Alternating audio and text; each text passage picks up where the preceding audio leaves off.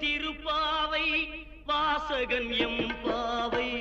கூப்பிடும் குரல் கேட்டு கண்ணன் வந்தான். கூப்பிடும் குரல் கேட்டு கண்ணன் வந்தான். மாதவ பெரியாழ்வார் மன்னவர் குலத்தாழ்வார்.